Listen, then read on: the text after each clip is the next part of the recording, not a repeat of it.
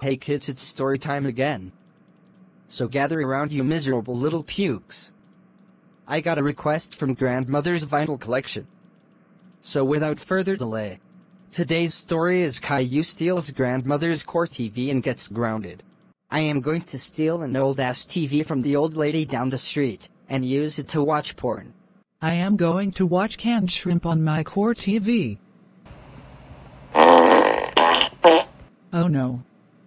I have to poop. It takes girls forever to poop. So now I have plenty of time to take this old TV. Now to go back home with my new TV. Meanwhile,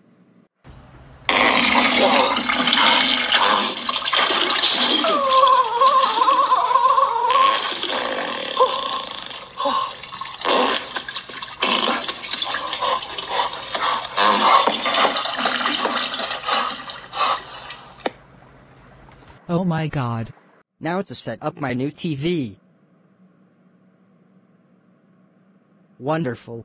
Holy crap, I thought I was going to die. Now to watch canned shrimps movie on my core TV. What the heck? My TV is gone. I'll bet it was Caillou. He likes to steal things from subscribers. I am calling his dad. Hello. Is this Caillou's dad? What did Caillou do this time? He stole my core TV. Can you please ground him?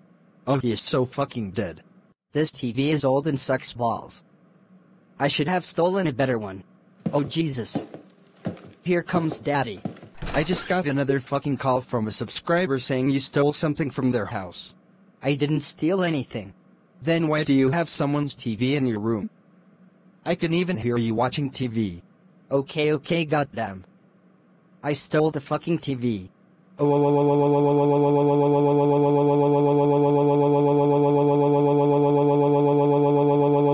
Caillou, how dare you steal a core TV from a subscriber?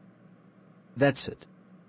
You're grounded, grounded, grounded, grounded for 97531257887532357887543457785 years crawl into your bed and fucking die you bald-headed motherfucker. Washington uh.